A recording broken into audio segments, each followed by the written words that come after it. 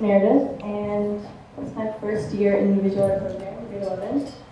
Uh, and it's really pushed me and taught me a lot about the artist that I am and the synergy that exists between my peers and I. For a long time, I knew, uh, having missed grades 9 and 10, that I was behind conceptually. Um, I felt like I was making bad work on top of more bad work, and I really questioned and analyzed every decision that I was making, constantly asking myself why I was doing what I was doing. Um, I doubted myself a lot, and I really just uh, didn't trust myself as an artist. Um, and because of this, I felt that I really wanted to give up. Um, but I did feel like there was something significant and almost sacred about the work that I was creating.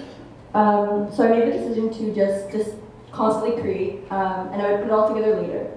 So I produced a lot. Um, I felt like I just produced until my hands got really sore. Uh, I found that my work started to get better, and as I was doing this, my art was changing along with it, and I started to uh, delve more into paradigms and consciousness. I made some clothing, uh, focused more about healing and self-awareness, all that kind of stuff. Um, later, I found that my work was subconsciously influenced by something even more sacred that helped me come to terms with the artist that I am and the artist that I am becoming. So this helped me to get, start get writing, and I did a lot of writing just trying to understand what it was that I was creating here. And the writing was very powerful and led me to where I am now, and that is Death Star. Um, Death Star is a frequency on which all my work exists. It started as a drawing, but it then spiraled off into something much more bigger than I couldn't have really ever imagined.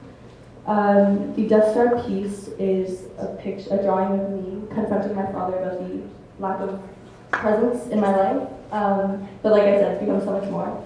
So this is the Death Star writing. I'm just going to read to you guys. Uh, Death Star is more of an expression rather than an explanation because it's something that can't be entirely explained, um, at least not yet anyways. It's a utopia of my mind, um, a part of myself that I must face every day, but and a component of my personality formed from growing up most of my life with no father figure. That abandonment impacted my morality and my behavior, and it led me to become Death Star. Death Star in me feels linked to the symbolism of satanic influence. It's led me to be emotionless and cold-hearted. Death Star led me to hell, to know and understand the devil, and to no longer fear him. Uh, so my dad is the ambassador of Death Star, a part of myself I stand up to and face, but also a part of myself that I can indulge in and completely become. Um, sort of like how Freud believes in the id, superego, ego, I believe in Death Star. It has no past, present, or future. It's an energy or a way of life. Uh, it's a utopia that only exists in the mind, created through trauma, emotional or physically, at any age. It can also be created through any type of spiritual enlightenment, it comes in thoughts, feelings, and actions, uh, but only in the mind. Um, it's an energy, a cult, a culture, a religion, a dimension, or a plane of existence. Anything death-style that occurs in the physical realm is all stemmed from manifestation of the mind. So really it has the potential and the power to be everything and nothing at the exact same time. Everything is Death Star and nothing is Death Star. And Death Star became my work and changed everything. It altered my way of thinking it seems that everybody has Death Star in them, whether they know it or not, and for every single person it's different. It's like a seed. Um, whether or not people are aware and have understood and accepted and embraced it is a whole other thing. And it's helped me take responsibility for my behavior and the choices that I make. Since the awakening of the Death Star, there's a lot that I've come to terms with.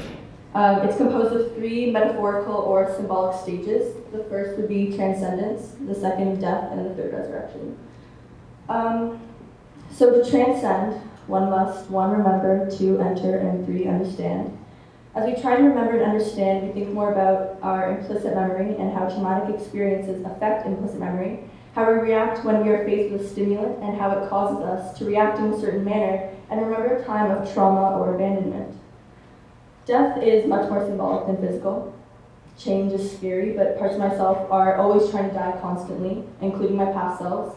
Our brain is always rewiring itself to learn new things. Our thoughts and thinking patterns will constantly be reconstructed, and we are never the same as we are or will be in the next moment.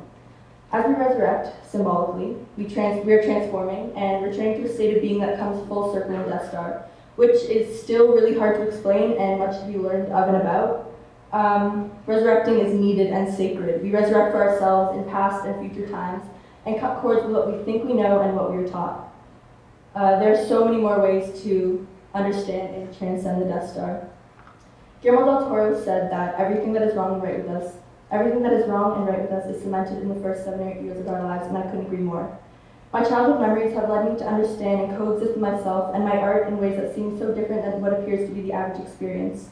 I'm grateful that my art has brought me here to a different way of thinking and living that I could have never expected, and I can only imagine what else Death Star can bring forth to all of you. Thank you.